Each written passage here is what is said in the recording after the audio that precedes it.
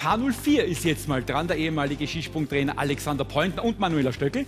Auch der Alexander hat völlig freie Hand gehabt, zu welchem Song er tanzen will. Da hatte er sehr schnell eine Idee, sogar sehr schnell eine sehr schnelle Idee, eine sehr, sehr schnelle Idee. Und da war dann auch sehr schnell klar, dass es keine besonders gute Idee war. Puh. Ist da wer nicht ganz ausgeschlafen? Ja, ich habe gestern Sendung gehabt auf Nacht. Das Motto dieser Woche ist äh, Magic Moment und der Alex hat sich ausgesucht Don't Stop Me Now von Queen und zwar bevor er wusste, dass dieses Lied ein Jive ist. Du deppert, bin ich jetzt auch gerade in eine tiefe Wildsau, oder was? Also so viel geschwitzt habe ich schon lange nicht mehr. Gerade aufgestanden und schon wieder fetzen aus. Gell? Gut. Als Skispringer habe ich bei weitem nie so viel trainiert. Also ich habe in meinem ganzen Leben noch nie so viel trainiert. Das ist nicht ohne. Erste Stunde hast du schon überstanden heute. Wir sprechen mal ganz kurz über den Magic Moment. Mein Magic Moment in meiner Trainerkarriere war eigentlich ganz am Anfang. Äh, Ich war noch ein junger Trainer bei den Olympischen Spielen in Turin. Das war 2006. Das war mein zweites Jahr als, äh, als Cheftrainer. Beim ersten Springen haben wir eigentlich total daneben gegriffen, keine Medaille gemacht. Und da waren wir schlecht, da waren wir wirklich schlecht. Und da wäre eigentlich meine Trainerkarriere schon fast vorbei gewesen, bevor sie überhaupt angefangen hat. Die Presse und auch die Verbandsspitze hat mehr an mich geglaubt. Nach dem ersten Wochenende hätte man auch erstarren können. Aber es hat einen Menschen dort gegeben, das war der Toni Innauer. Der war damals Sportdirektor. Der Toni hat mir da so die Sicherheit gegeben und wir sind wirklich gewachsen. Ja. Das Ganze ist gut ausgegangen. Wir haben Gold und Silber dann gewonnen. Morgenstern vor Kofler. Und zwei Tage später haben wir das Ganze dann noch gekrönt und sind Olympiasieger in der Mannschaft. Und das wäre alles nicht möglich gewesen, wenn ich nicht äh, so einen Menschen wie den Toni als Mentor bei der Seite gehabt hätte.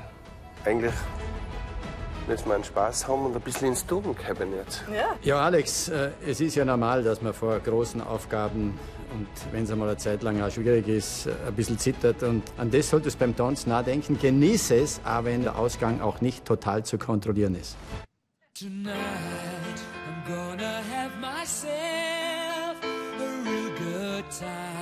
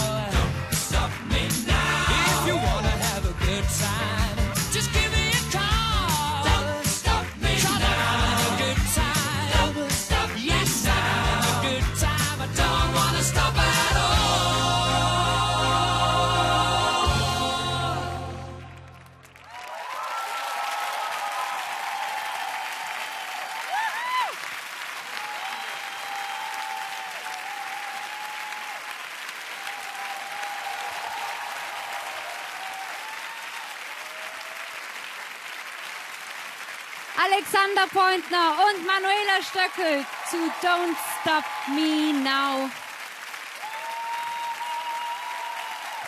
Generell kann man den Mann, glaube ich, nicht mehr stoppen.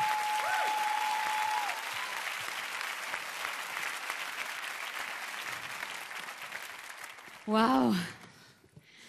Alex, der, der uneheliche Sohn von Freddie Mercury und Mundel Sackbauer. Danke. Es steht dir. Also danke sagen wir. Also A Queen, eine meiner Lieblingsbands. Ich habe mich sehr gefreut, als ich gehört habe, dass der Song kommt. Wenn man dir vor einer Woche schon gesagt hätte, dass der Song aber ein Scheif ist, was hättest du dann gemacht? Dann hätte ich wahrscheinlich was anderes genommen. so wie vielleicht da am Anfang von der Sendung, wo wir Schleicher tanzt haben. Da ist alles ein bisschen langsamer. Aber ich muss sagen, die Woche hat mir schon Spaß gemacht, weil ich habe noch nie in meinem Leben so viel trainiert, so viel geschwitzt. Und äh, ja, es war eigentlich eine coole Geschichte. Ähm, Und dann natürlich auch nochmal, ähm, also in, mit dabei der Toni Innauer, so ein bisschen, der dich unterstützt hat, dein Mentor, wobei damals, ich, ich habe immer das Gefühl, es ist einem gar nicht bewusst in dem Moment, dass das vielleicht dein Mentor ist. Wenn man zurückschaut, dann ist es ganz klar. Wie war das bei dir damals? Hast du gewusst, das wird eine wichtige Rolle in meinem Leben spielen, der Toni? Das habe ich eigentlich immer gewusst. Ich meine, ich war echt ein schwieriger Brocken, wo ich noch Athlet war. Und der Toni war mein Trainer. Äh, Das heißt aber nicht, dass der Toni ein schlechter Trainer war. Aber irgendwie ist er mir zerbrochen. Also ganz an die Spitze habe ich es nie geschafft. So zwischen 10 und 15 im Weltcup. Und ich habe mir immer gedacht, ja, einen Schritt noch und dann bin ich auch da ganz oben am Stockhall. Aber meistens, äh, oder es sind eigentlich immer noch drei, vier Schritte, bis man ganz oben ist. Und der Toni war mein Mentor dann, weil er gewusst hat, äh, ja, mit den Voraussetzungen und mit der Energie, dass ich jetzt was erreichen will als Trainer.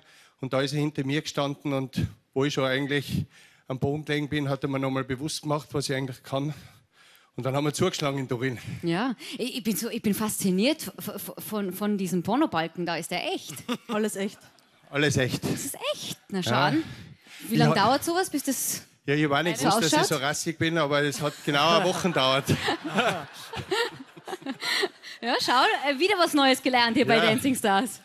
Marc, wie lange musst du warten, bis du so ein Bart hast? Oh, das dauert länger. Das Ja? dauert länger als eine Nein, Woche. du musst die letzten Sendungen anschauen, da war ich immer glatt rasiert. Ja, ja, das die weiß ich. Woche. Das bei weiß bei ich. mir dauert es zwei Tage. Ja, deshalb, ja, also Mittwoch darf man mich nicht sehen.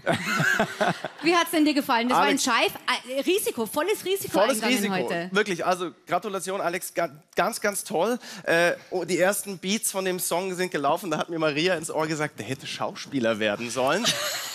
Dass du aber nicht nur Schauspiel kannst, sondern auch viele, viele andere Dinge im Leben, das hast du bewiesen. Don't Stop Me Now hast du in deinem Leben auch oftmals bewiesen. Mit diesem So- Song, das passt perfekt zu euch. Tänzerisch, um jetzt ein bisschen Kritik auch irgendwie zu sagen, klar gibt es auch noch andere Tanzpaare, die sind vielleicht noch euch einen Schritt voraus. Aber von der Performance und von dem Darstellerischen, von dem Mut vor allem, ähm, wirklich ganz große Klasse und ich fand's super. Wirklich toll. Danke vielmals, Marc. Danke sehr. Ich glaube, es braucht mehr als einen Scheif, um dich einzuschüchtern. Der Scheif hat es nicht geschafft. Wollasch. Du bist schon ein Rampensau langsam. so wie du da reinplatzt und äh, Woche, Woche zu Woche uns äh, äh, verschiedene Charak- Charaktere bringst. Wenn es nur intakt wäre. wäre vielleicht ein Tick, Tick zu viel für uns oder äh, weiß ich nicht. Ähm, ich finde es Wir toll. brauchen ja noch was für nächste Woche, weißt du? Ja, eh, bisschen. Ah, na, Taktik, Taktik. Jetzt habe ich euch durchgeschaut. Das ist eine Taktik. Na, ich finde, ich finde es schön. So, ich, ich, überlegst nicht lang, okay, wir bringen es durch, wir, wir haben eine Idee, äh, wir stehen dahinter. Ähm, äh, oft einmal ein bisschen schneller als deine Beine. Ähm, äh, und die Musik ist ein bisschen langsamer als ihr. Äh, da, ihr müsst noch zusammenfinden, so, so tänzerisch, musikalisch, aber die Geschichten sind toll. Und äh, ja, du bist nicht zum Sto äh, Stoppen. So, äh, was soll ich noch sagen? I stop you now, weil jetzt ist die Maria dran. Danke, Wollasch. Danke. Also ich finde es faszinierend, dass die du, sobald du in einer Rolle bist, sobald du dein kleines Schauspiel hast, das ihr vorbereitet habt, äh, gehst du sowas von ab auf der Fläche. Ähm, und ich finde, es fällt dir auch viel leichter, wann du eine Rolle einnimmst oder wann du in eine Rolle schlüpfst, dass du dann Freiheit ausstrahlst und dass du auch den Körper loslässt und freier bist. Äh, je mehr man die so in das Tanzkorsett einzwängt, umso verkrampfter wirst du und umso mehr finde ich, dass man sieht, wie du denkst. Sobald du in einer Rolle bist, ich spiele jetzt diese Person oder ich verkörper jetzt diese Rolle, da gehst du voll auf. Ja. Ähm, tänzerisch, ja, ist es natürlich so, dass äh, gerade beim Jive die Schritte zu groß waren. Es war teilweise unrhythmisch ähm, und es ist einfach so, dass ich von dir äh, den Tanz immer noch sauberer sehen will.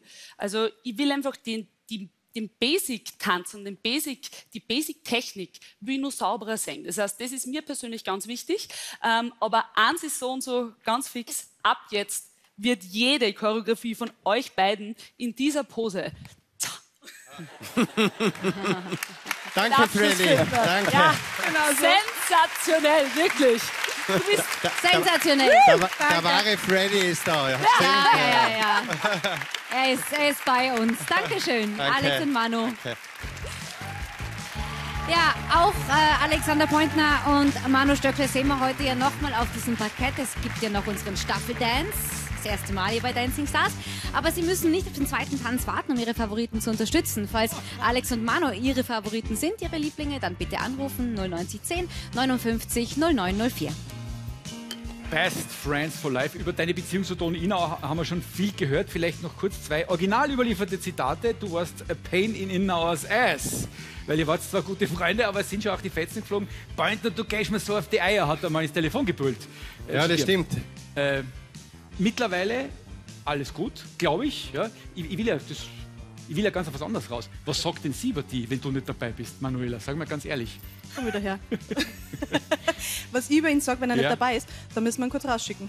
Ja, er hört, er hört, kurz, er hört kurz weg. Nein, sag mal ganz ehrlich, es ist dir am Anfang schon ziemlich auf die Nerven gegangen, dass er halt so ein Trainergehen irgendwie nicht ablegen kann und er dir irgendwie mehr oder weniger sagen wollte, was man Es war, es war ganz geschehen hat. witzig, weil äh, der Alex hat das natürlich äh, versucht, ob das jetzt bewusst war oder einfach schon so unbewusst, das weiß ich nicht, aber ähm, wir haben da schon unseren Weg gefunden. Aber es war ganz witzig, weil ich habe ja die Gelegenheit gehabt, auch ganz kurz mit dem Toni zu sprechen. Ähm, und wie der beschreiben hat müssen, wie der Alex früher gewesen ist, habe ich mir das angehört und habe dann einfach nur drauf gesagt, für heute Copy-Paste.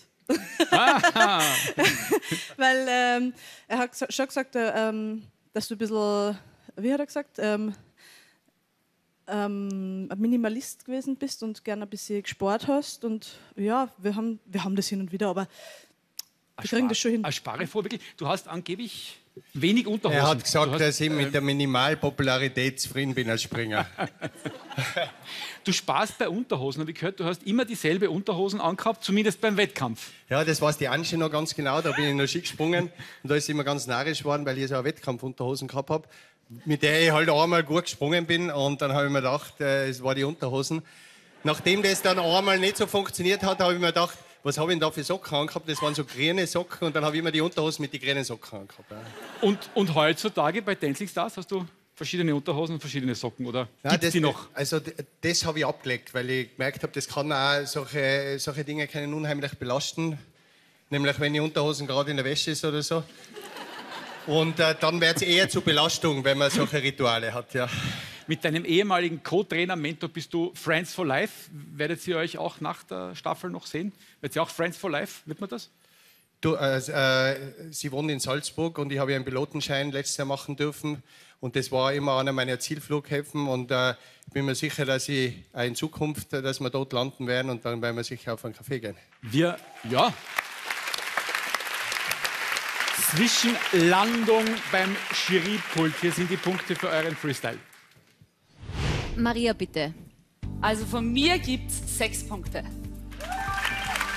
Sechs Punkte von Maria. Marc legt wie viele drauf? Gute Laune, super Unterhaltungswert, sechs Punkte. Auch sechs Punkte. Und Bolasch Ecker. Ihr seid irgendwie nie zu stoppen. Fünf Punkte. Super. Danke sehr. 17 Punkte. 17 Punkte für Paar 04. Alex und Manuela, wir sehen euch später bei der Staffel. Wir und freuen uns. drauf. Bis später.